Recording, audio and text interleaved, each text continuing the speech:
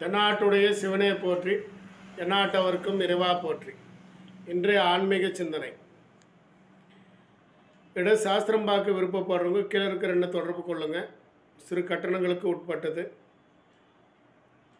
So இன்றைய ஆன்மீக சிந்தனை நம்ம என்ன விஷயங்களை தெரிஞ்சுக்கணும் அப்படின்னு பார்த்தீங்கன்னா சடாரி.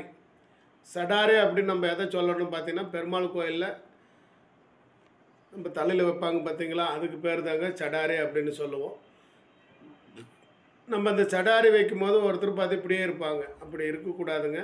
தலை வணங்கி இப்படி வாங்கிக்கோங்க. தலை வணங்கி ச குனிஞ்சு அது வந்து அப்போ தான் உங்களுக்கு அந்த சடாரி ஆகப்பட்டது முழுவதுமாக இருக்குங்க. அப்புறம் தலை வணங்கா அப்படி நிமிர்ந்ததுன்னா சும்மா அப்படி வச்சு எடுத்து போடுவாருங்க. அதில் எந்த பலனும் இல்லைங்க. அதனால் தலை வணங்கி அந்த சடாரி வைக்கும் போது பெருமாளை நினச்சி தலை வணங்கணுங்க. தலை வணங்கி அதை ஏற்றுக்கோங்க இது எதுக்கு நம்ம செய்கிறோம் அப்படின்னா தலை தாங்கினால் காமம் குரோதம் பேராசை மயக்கம் ஆணவம் பொறாமை என்னும் ஆறு வகை தீய பண்புகளும் நம்மை விட்டு விலகுங்க.